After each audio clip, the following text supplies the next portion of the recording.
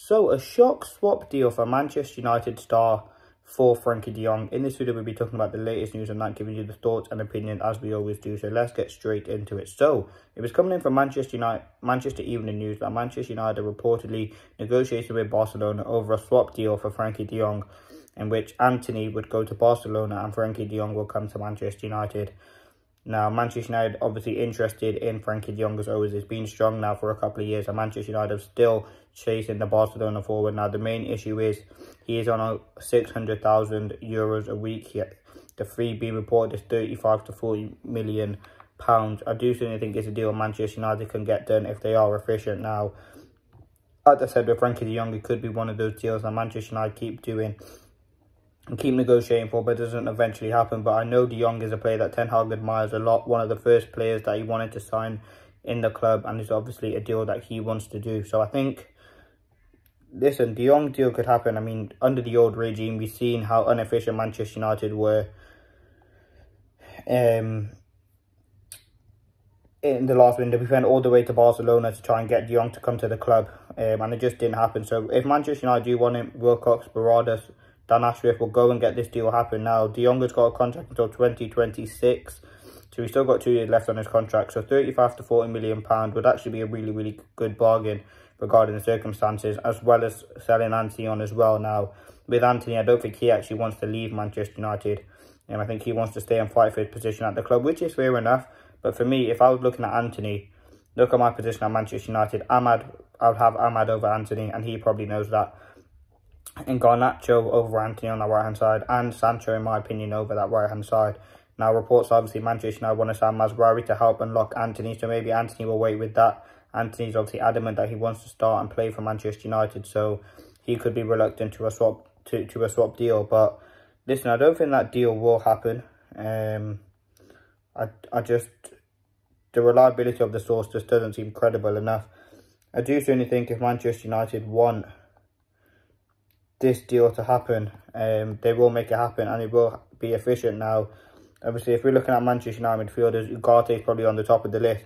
Then after that, who would it actually be? I I don't know, to be honest with you. Who would actually come in um, over over Ugarte? Maybe Amrabat, maybe Rabiot. Certainly, though, after Ugarte, De Jong would be a player I will be very, very interested in coming to Manchester United.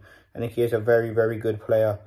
Um, and listen, I think he would. He wants to come to Manchester United. I mean, most of the players that Erik Ten Hag has gone for have been ex Ten Hag players, but he still wants to work with them now. De Jong has obviously been on the sideline with an ankle injury that forced him to miss Euro 2024. Um, we don't know when he's going to come back from injury, but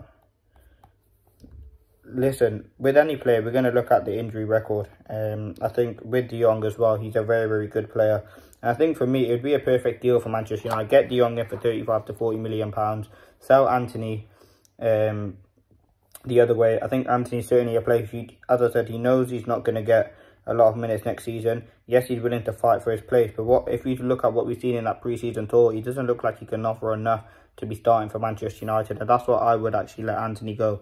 Listen, Erik Ten Hag has tried with him, and you can you can kind of see Erik Ten Hag's frustration with him um, in terms of he, towards the end of last season, he just totally didn't start him. He brought him on for minutes here and there, but you look at Erik Ten Hag, this is probably one of this is not being the greatest signing. I mean, Antony cost a hundred million pounds. It was a deal that Manchester United want to do. He can't contract until June 2028. I think if this is a deal that certainly arises, Manchester United will go and get it done. And it would be a huge statement deal. I mean, bringing De Jong and get rid of Antony would be a fantastic deal. Now, if you look at um, De Jong's injury record this season, he had four injuries. Ankle sprain, which made him miss 14 games. Um, a fever, which he missed one game. An ankle injury, which he missed six games in March. And then another ankle injury in um, April that missed seven games. So, listen, De Jong, he hasn't had too many injuries. I think he's a, listen, he's a good player. If you want to look at his market value for someone like Frenkie de Jong, um, it will probably be quite high. I mean, De Jong is a fantastic player. I think for me, he could be that perfect signing to kind of unlock and play in that midfield role for Manchester United. He's the sort of player that we need. And as I said, after Ugarte, he would be a very, very good signing. I think Ugarte is the priority right now. Um, and I think Manchester United want to sign him. Um, and I think after Ugarte, Manchester United will fully be focused on this De Jong deal.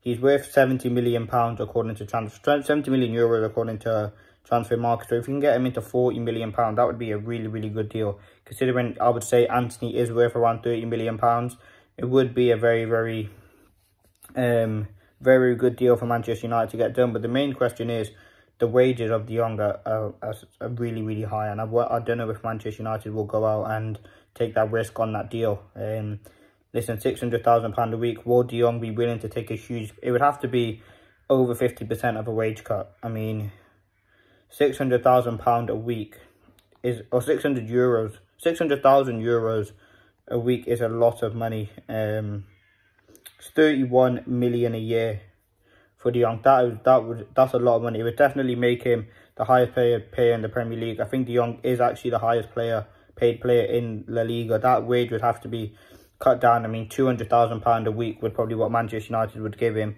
Don't know if he'd be happy with that. And if he's actually willing to the move, I mean, reports that last season he wasn't really happy with the position that he was getting in um, at Barcelona. So he could be open for a move.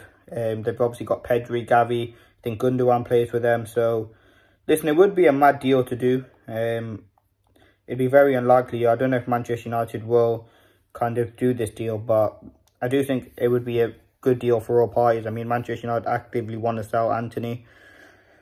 And ultimately, we need another player to come in, and De Jong. We need a midfielder. I think we are pretty stacked in that in that attacking department if Jadon Sancho stays.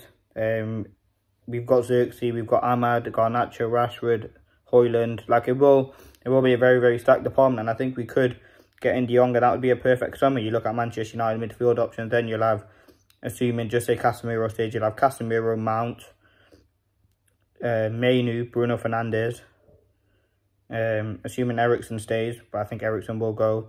Ugarte, and but you'd have Mainoo, uh, Mainoo, Bruno, Mount, Casemiro, Ugarte, and De Jong. That would be a very, very good midfield. And I think that midfield will be very, very important. But let me know your thoughts. Should Manchester United do this swap deal?